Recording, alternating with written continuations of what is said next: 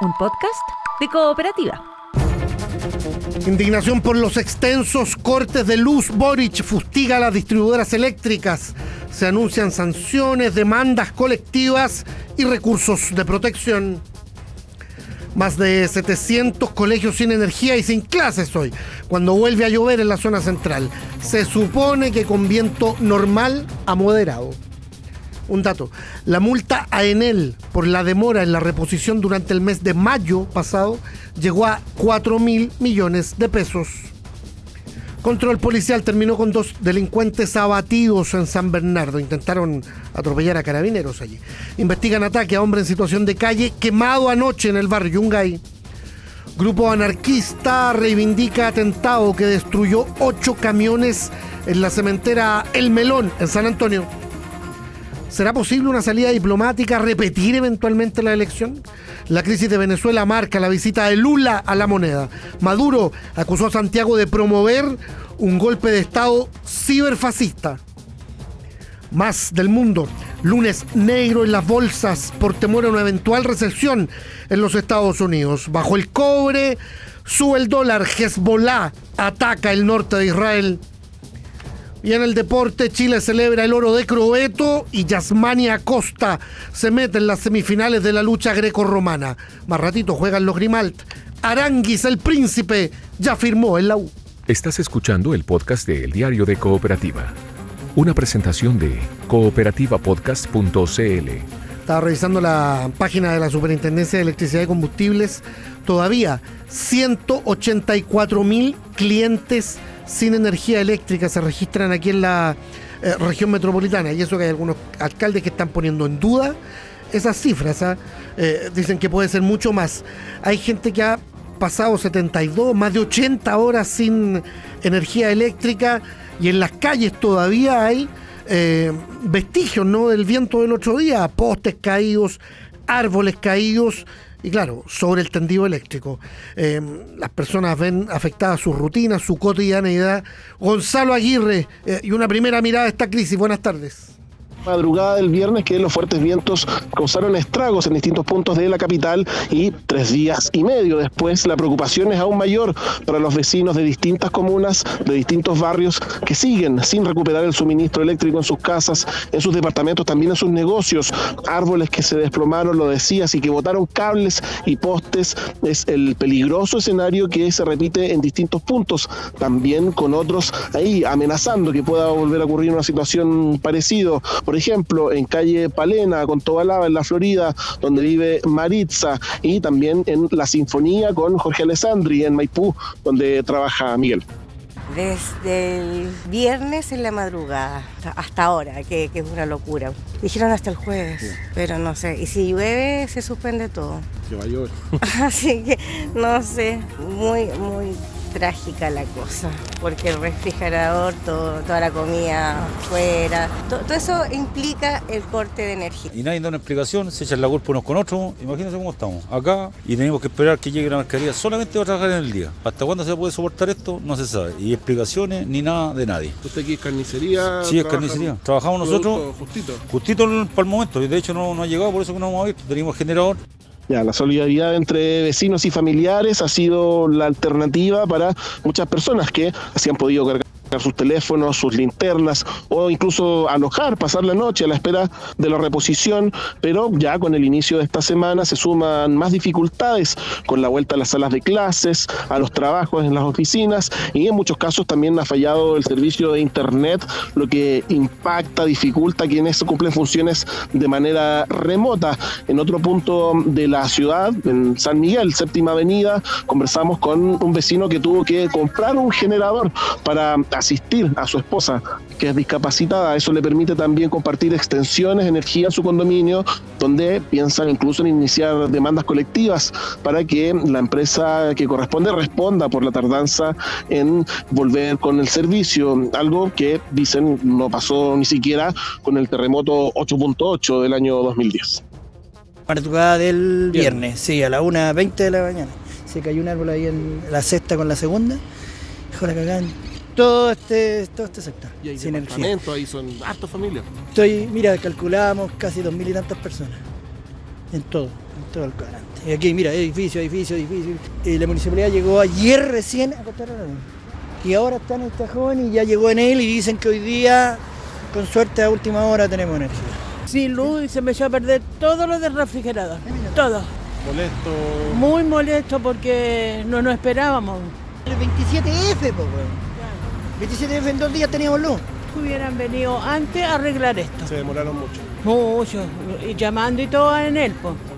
y de San Miguel a Peñalolén, en la avenida Antupirén, donde nos encontramos ahora, va bajando la temperatura además y los vecinos han salido a manifestarse, incluso con fogatas en plena calle, por la lenta mm, reacción ante cuatro postes que cayeron, otros que quedaron inclinados y que tienen a cientos de familias sin luz, sin agua caliente, sin saber cuándo volverán los servicios. Hoy día recién están comenzando los trabajos, no han tenido eh, viernes, sábado, domingo, bueno, y hoy día ya mediodía prácticamente sin luz.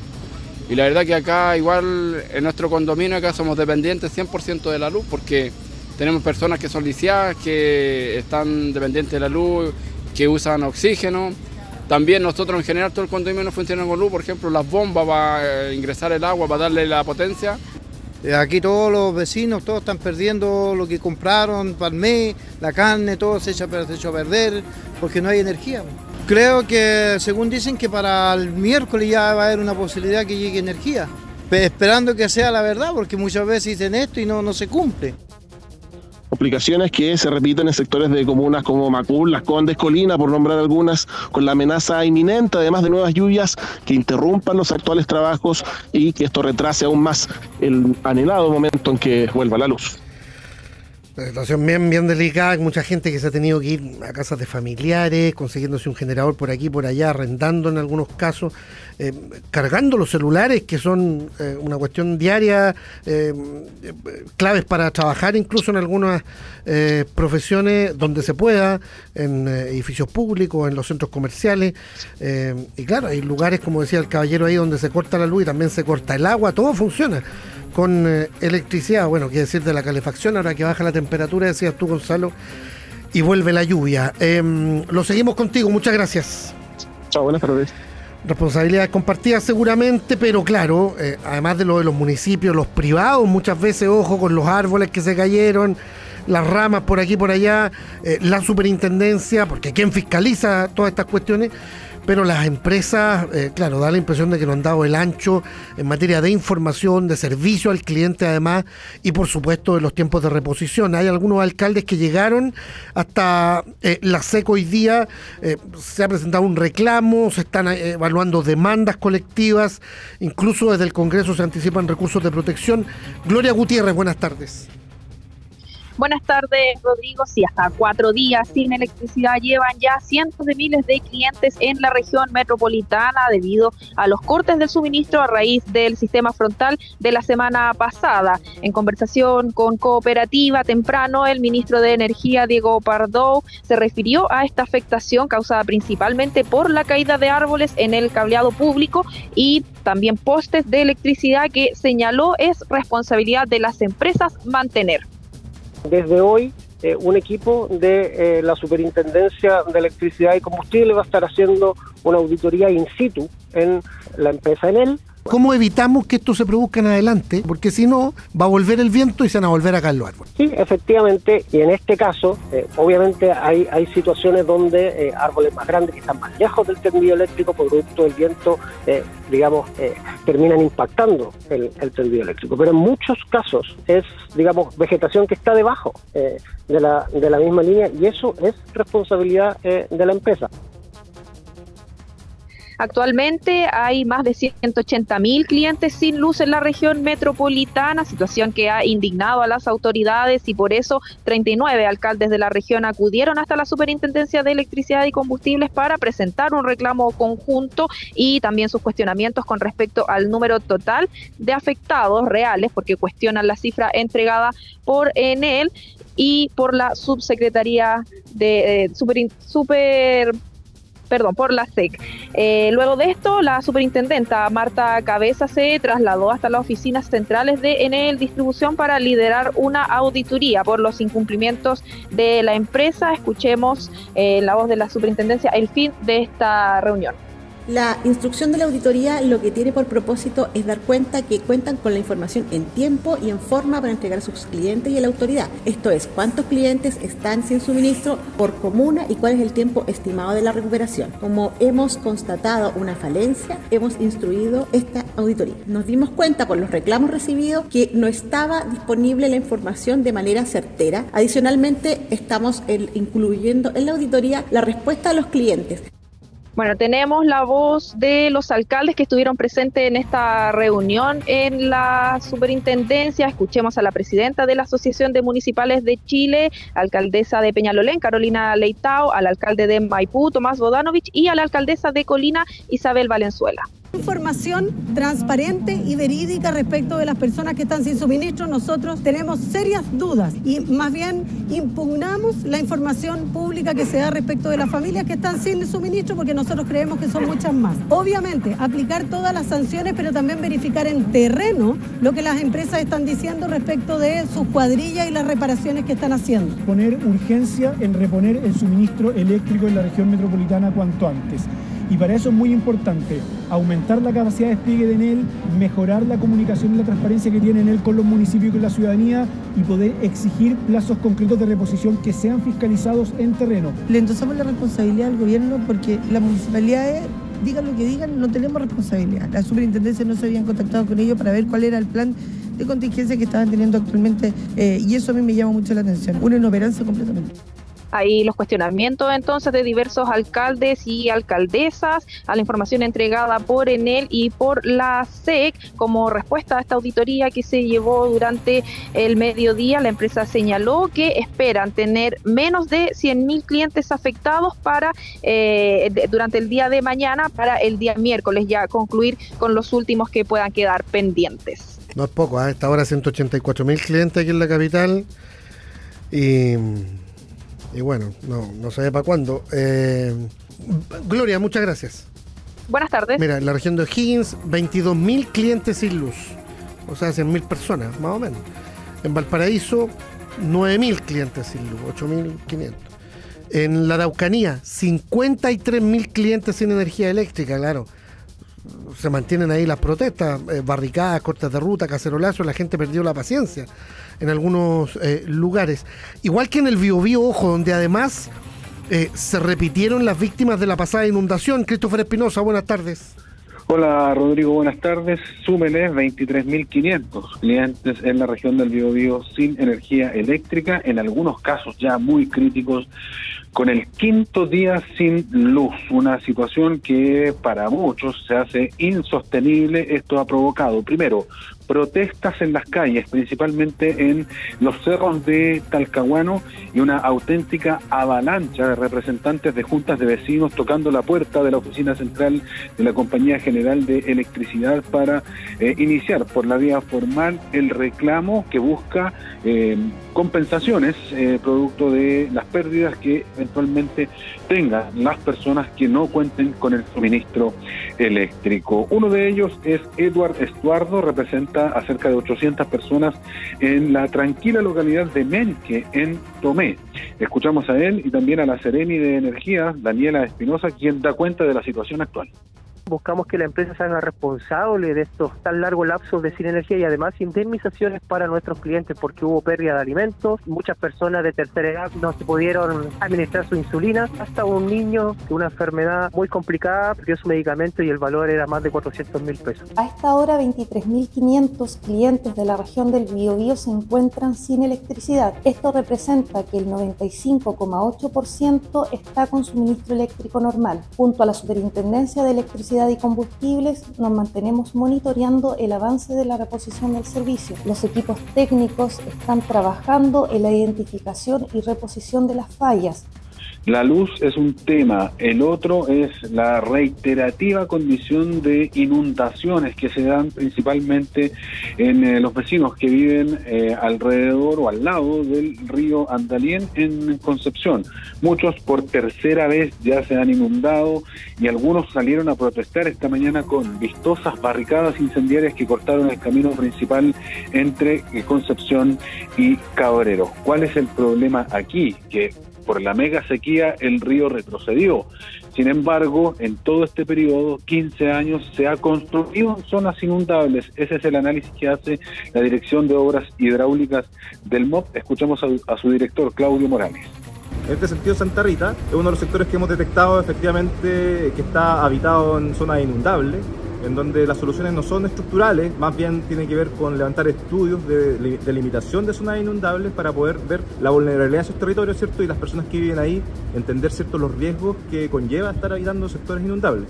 Así como también hemos estado levantando estudios similares en, el río Pichilo, en Arauco, ¿cierto?, en, el sector de Salto del Laja, ¿cierto?, Agua y otros sectores de la región que tienen esta vulnerabilidad. Producto de, de la lluvia del año pasado, nosotros hicimos una limpieza de, del cauce, ¿cierto?, para poder aumentar la caja de escurrimiento de este cauce la gran cantidad de agua caída en los eventos, eh, Rodrigo, provoca esta problemática que va a ser más común, dicen las autoridades, ya que no se ha aprendido que estamos en un periodo de cambio climático y construir por donde antes pasaba un río, en algún momento iba a pasar lo que hoy día está ocurriendo. Gracias. Que esté muy bien. Calles de Santiago, información policial, muy grave lo del barrio Yungay, también lo de San Bernardo. Felipe Cofre, buenas tardes.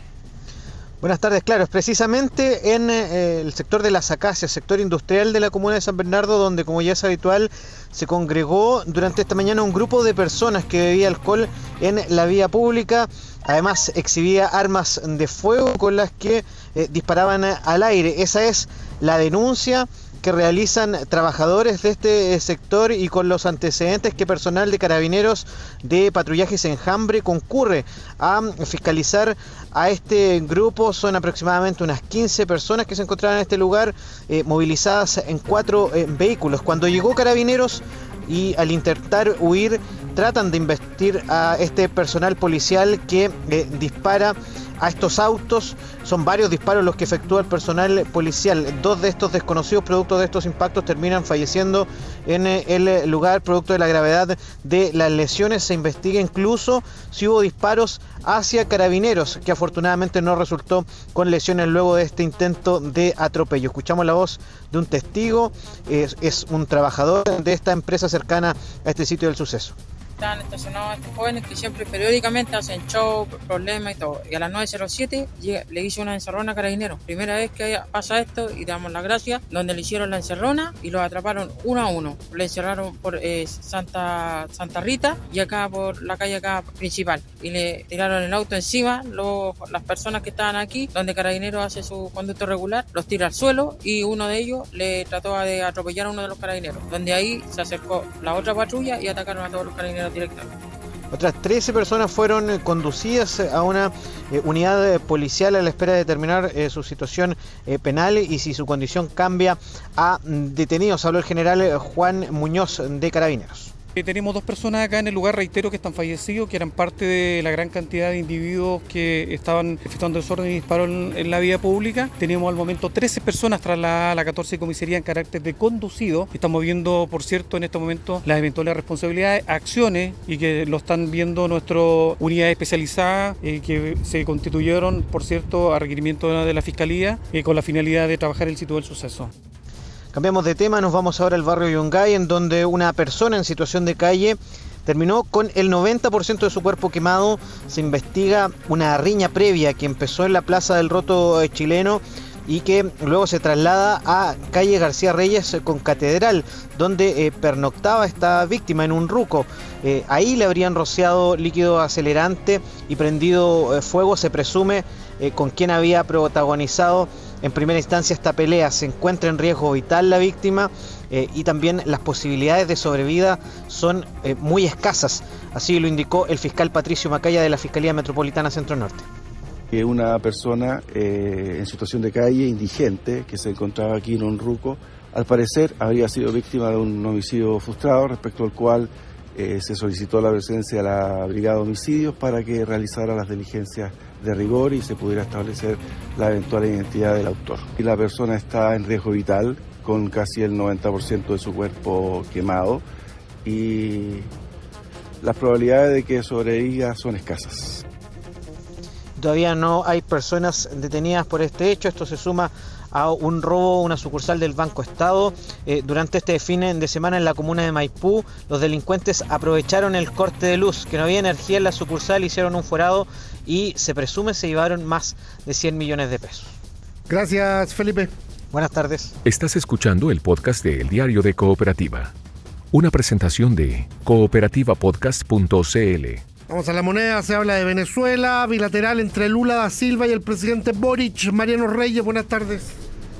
Sí, hasta ahora ya estamos en la espera de que finalmente puedan entregar esta declaración conjunta tanto el presidente Gabriel Boric como el presidente de Brasil, Lula da Silva. Han estado firmando una serie de protocolos de entendimiento, de cooperación, incluso también unos homenajes por parte del presidente Boric al presidente de Brasil, Lula da Silva. Estamos aquí en el patio de las Camelias. Los próximos minutos van a entregar esta declaración eh, conjunta. Y si esta visita oficial, Rodrigo, hubiese completado según la agenda original que estaba programada para el 17 de mayo, seguramente serían otros los temas de conversación. Este porque, aunque haya existido una delegación de 13 ministros acompañando al presidente Lula da Silva, se hayan firmado más de 20 protocolos de cooperación, las miradas están puestas sin duda en el diálogo por Venezuela. El ambiente político latinoamericano está muy convulsionado. Lula ha mostrado una postura que muchos consideran ambigua, porque si bien ha expresado que se necesita la total transparencia de las actas, también ha desdramatizado el rol de Nicolás Maduro,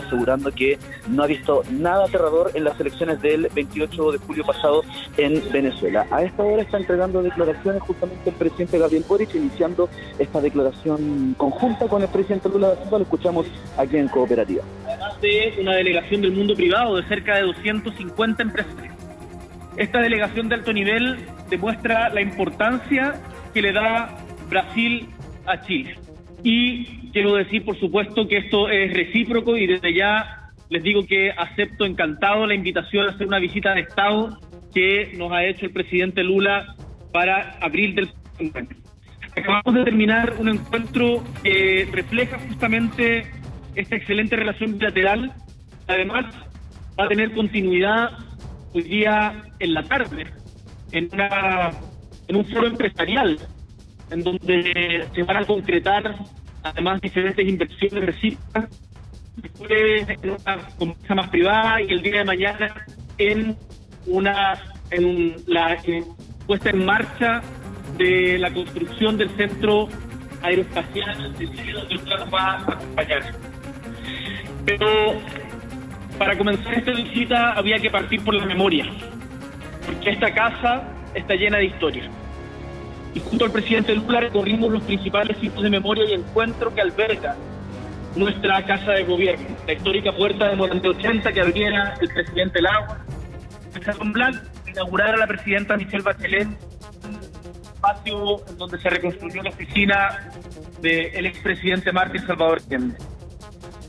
Sabemos que un país sin memoria es un país sin futuro y por eso con el presidente Lula conversamos de los temas que nos han unido históricamente, de la amistad del pueblo, pero por sobre todo de futuro.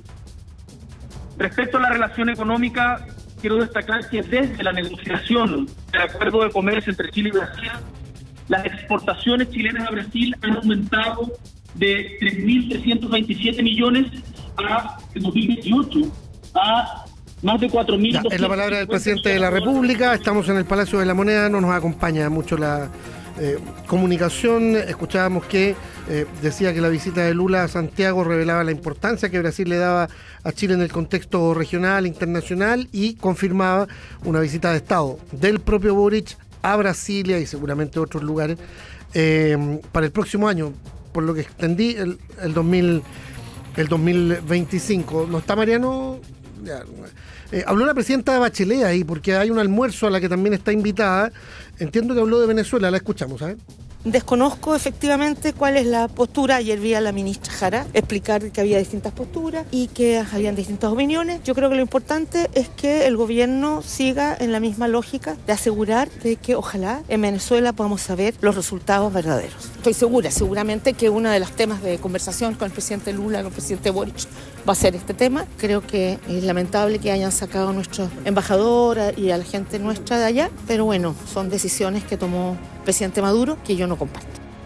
Bueno, esa es la declaración entonces, Rodrigo, de la ex presidenta Michelle Bachelet asegura que esto es un tema inevitable en la conversación entre el presidente Boric y el presidente Lula da Silva, sobre todo porque se está buscando eh, algunos mecanismos con los cuales haya alguna intervención internacional en respecto a la situación que se vive eh, justamente en Venezuela. Ahora, todo esto también genera un problema político nacional con el Partido Comunista quedando prácticamente solo eh, tras su respaldo a Nicolás Maduro. Hay parlamentarios del socialismo democrático que han planteado eh, las dudas de si es que en torno a esta declaración del Partido Comunista van a poder ir en una lista única para las presidenciales del el próximo año. Eh, han existido también diferentes declaraciones de otras fuerzas políticas, por ejemplo vamos a escuchar al presidente de la UDI, Guillermo Ramírez, el diputado, quien plantea que el tema de Venezuela es un test de la democracia para la izquierda latinoamericana y también a la presidenta del Frente Amplio, Constanza Martínez, quien eh, espera que el debate dentro de la coalición avance a un buen futuro. Esta es una prueba para la izquierda latinoamericana, es un test democrático. Yo espero que en esta semana, en que ya queda claro, meridianamente claro, que aquí hubo un fraude electoral, la izquierda latinoamericana lo diga con todas sus letras y le quite el piso al dictador Maduro. Lo que esperamos es que haya una postura clara y unívoca al respecto. Ha habido distintos liderazgos de ese partido que nosotros reconocemos en su trabajo diario. Queremos que esta discusión pueda ser profunda y que reconozca los elementos internos de política interna y también de política internacional y en eso esperamos tener la mayor unidad posible porque sabemos que hay desafíos a nivel nacional e internacional complejos eh, políticas en torno a la postura del Partido Comunista. Lo cierto es que a esta hora sigue la declaración conjunta del presidente Gabriel Boric y también va a seguir la agenda del presidente Lula da Silva. Después de esta declaración va a trasladarse hasta la sede del Congreso en Santiago, va a tener reuniones con altas autoridades del Estado de Chile y por la tarde se va a volver a encontrar con el presidente Boric en un foro empresarial organizado, entre otros, por la SOFOFA. Sí, es un Hotel W. Eh, ¿Se espera que respondan preguntas a los presidentes, Mariano? ¿Sí? No, es sin ah, pregunta esta declaración conjunta, eso es lo que nos han dicho, lo que sí va a ser la vocería de gobierno a cargo de la ministra Camila Vallejo después de esta declaración. Perdón, ¿y la idea de eh, una eh, declaración conjunta respecto de Venezuela tampoco? No ha estado confirmado, es lo que espera, es lo que esperamos todos. La, verdad, la mayor expectativa que hay no solamente de la prensa nacional, sino que también de la prensa brasileña, pero estamos a la espera, esperando a ver a que termine esta declaración conjunta, a ver qué es lo que podrían mencionar respecto a Venezuela. Gracias, Mariano. Cualquier novedad retomamos. Buenas tardes. Ya, en la derecha, ¿qué pasa? Están pensando en octubre, algunas reuniones hoy día. Eh, se baja lo de Aldo Duque en Santiago, ¿ah? que haría solo corriendo Mario Desbordes. Eh, de eso y más, Camila López, buenas tardes. ¿Qué tal, Rodrigo? Muy buenas tardes. Después de semanas de negociaciones, incluso tras haber inscrito su candidatura a la alcaldía de Santiago Centro en un cupo del Partido Social Cristiano, el abogado Aldo Duque anunció que declina su postulación y le entrega el apoyo al candidato de Chile Vamos, Mario Desbordes. El anuncio se hizo hace minutos en la sede del Congreso en Santiago tras una reunión donde participaron Duque, Desbordes y las directivas del Partido Social Cristiano y Renovación Nacional. Aldo Duque dijo que entiende que es inviable tener dos candidaturas de la derecha y la centro derecha en Santiago y que eso solo le entrega ventaja a la candidata oficialista Iracy Hasler. Yo a partir de este instante me he comprometido formal y expresamente a darle todo mi incondicional apoyo a Mario Desbordes para que sea alcalde de Santiago. Me la voy a jugar por esa opción. Sé que hay muchos que no lo van a entender. Sé que hay muchas personas que me decían hasta, hasta, hasta hace pocos minutos atrás, no se baje. Pero yo tengo una cosa que es fundamental en la vida, que es el principio de la responsabilidad. Y llevar dos candidatos en Santiago Centro, por la centro derecha y la derecha, implicaba regalarle una vez más la municipalidad al Partido Comunista. Bueno, se despeja un nudo en las oposiciones con el retiro de la candidatura de Duque, pero hay otra comuna importante donde la derecha también quiere llevar una candidatura única. Hablamos de Concepción, donde el Partido Republicano inscribió a James Argo y la UDI a Valentina Pavés, hija de la ex senadora y timonel gremialista Jacqueline Albergue. El diputado y secretario general de la UDI, Juan Antonio Coloma, dijo que están dispuestos a bajar la candidatura siempre que la definición se haga a través de una encuesta vinculante. En el caso de Concepción, hace más de un mes le propusimos al Partido Republicano realizar encuestas vinculantes y que el mejor candidato sea el que enfrente a la izquierda. Y faltando tres días se lo volvemos a decir. Estamos disponibles en Concepción, en Arica, en los gobiernos regionales a realizar encuestas vinculantes para determinar el mejor candidato para enfrentar a la izquierda. Aquí quienes pretenden hacer un caso de, de lo que ocurre en Concepción quizás omiten decir que en todas las conversaciones que hemos tenido le hemos propuesto desde el día 1 la realización de una encuesta hasta el 8 de agosto, es decir, hasta tres días más hay plazo para retirar las candidaturas a alcaldes y gobernadores que ya fueron inscritas ante el servicio electoral. Gracias, Camila. Buenas tardes. Ahora sí, hablemos de pensiones, en un proyecto que tiene ahora una nueva propuesta del Ejecutivo. En la derecha se supone que lo están revisando esto. Eh, suponía que esta semana podía ser en Comisión de Trabajo del Senado, pero al parecer no, no todavía. Algo escuchábamos ahí eh, de la diputada eh, Osandón. Eh, estamos en el Parlamento. Jorge Espinosa Cuellar, a ver, buenas tardes, ¿qué tal?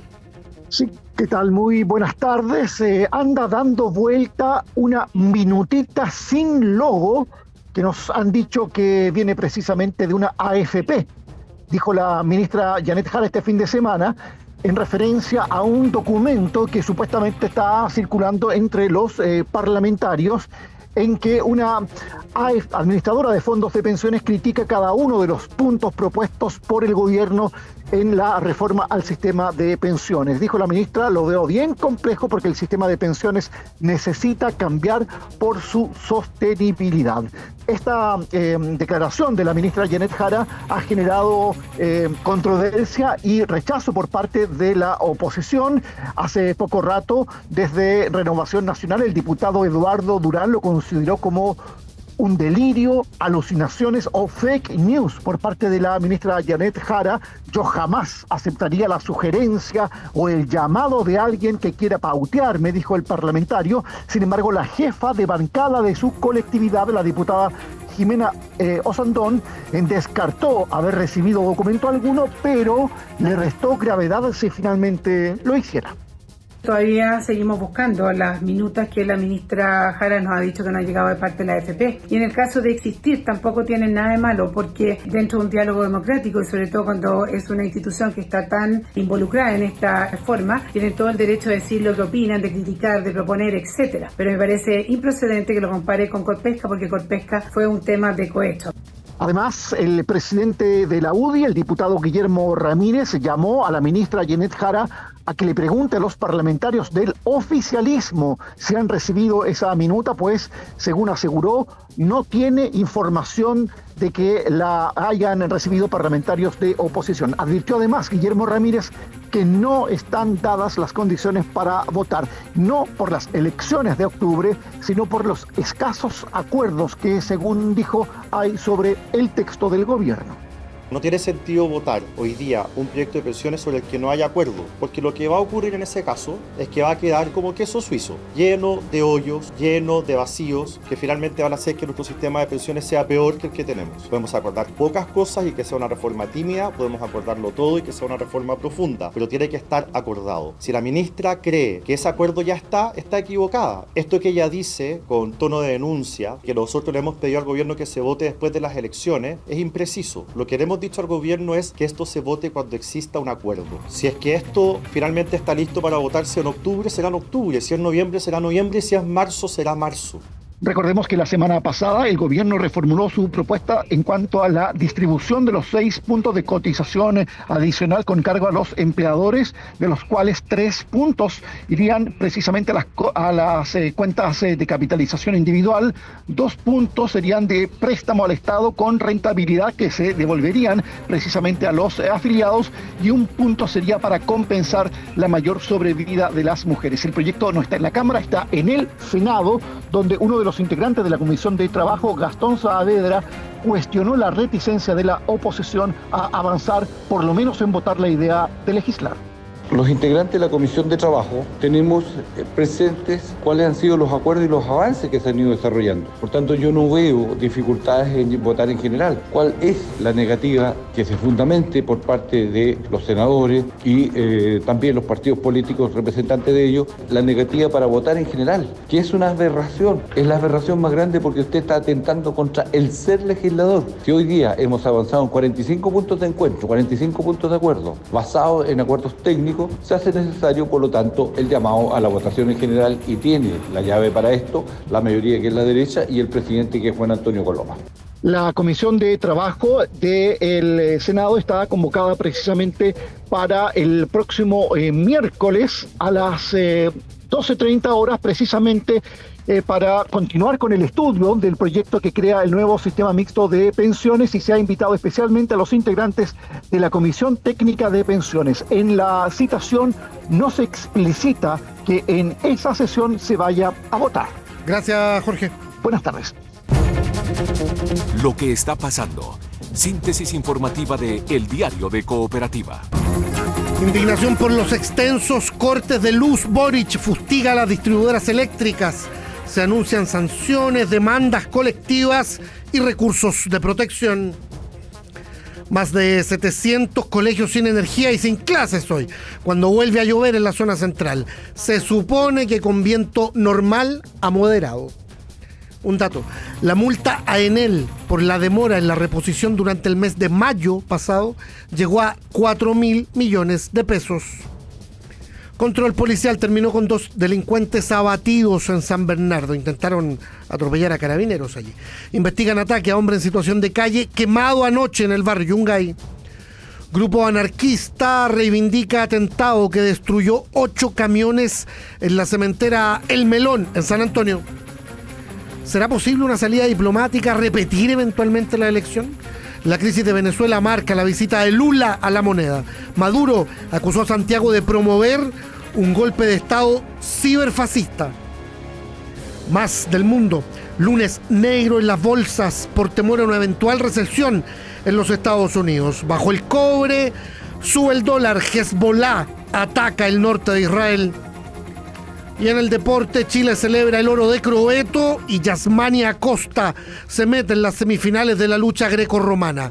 Más ratito juegan los Grimalt. Aranguis, el príncipe, ya firmó en la U. Aquí termina el podcast de la segunda edición de El Diario de Cooperativa. Encuéntralo de lunes a viernes en cooperativapodcast.cl o en tu plataforma de audio favorita.